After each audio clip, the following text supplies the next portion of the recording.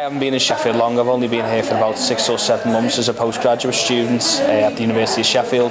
But uh, one of the things that has really grasped me while I've been here is the showroom uh, cinema by the train station. I feel that it's a fantastic building. It's got ex excellent facilities, and it really, really captures uh, both feature films and more, you know, artistic and cultural uh, side of film. It's nice. It's close. It's small. It's intimate. It's, it's got that really good local Sheffield feel about it. The difference is really the people for me.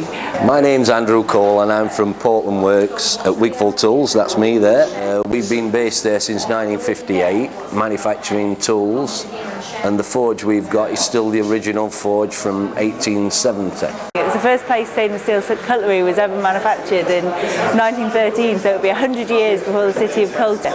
There are artists, metal workers, musicians, silver platers. I think there's even a chastity belt maker based there. And so we've got lots of ideas about how you take the history forward for Sheffield, but make it really personal to the place. We're hoping like uh, in 2013 the centenary of stainless steel, we can still keep manufacturing and doing stainless there as it always has been done.